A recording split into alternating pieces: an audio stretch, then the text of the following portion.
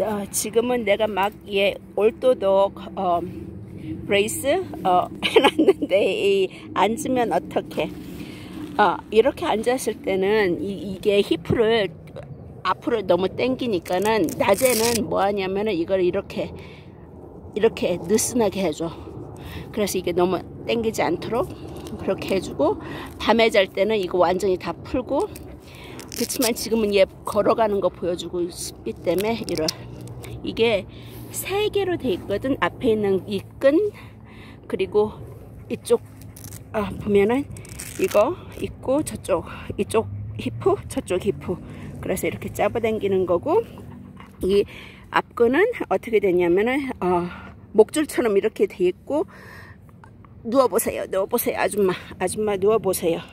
누워보세요. 이렇게 보면은 앞에 이게 아무것도 없거든. 이렇게 떨어져 있어. 그러면 이 뒤에 있는 이거를 보면은 다리 좀 비켜봐. 여기 끈을 통해서 들어가게 해서 이렇게 음, 하면 돼. 하고 난 다음에 이거는 조절하는 거지. 나중에 이렇게 이렇게 조절하는 거지. 그리고 음, 이 이것도 조절하는 거지. 거기에 맞게. 어, 저기 어, 손가락 두 개는 들어갈 수 있게 이렇게 해놓고. 어, 그래요. 그리고 이게 이게 어, 어, 좋긴 한데 이게 끝에가 100%인데 찹짭 찹차기?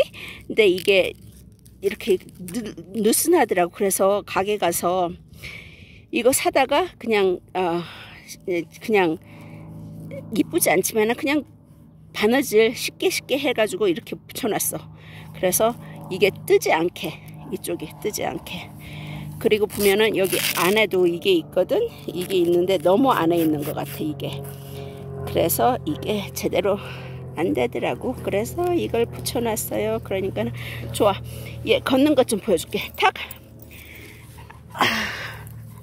일로 오세요. 탁, 컴. 그늘이 좋아. 움직이기 싫어. 아, 짤뚝거리는 건 아직도 있는데, 얘 뒤에서 가는 거 보여주고 싶은데. 아, 하, 하지마. 니네들 하지마. 이 러비 미쳤어. 지금 나무 밑에 산책 가다가 그늘 밑에 앉아 있거든. 아, 야야야야야. 너 미쳤다 야. 아, 탁 일로 와.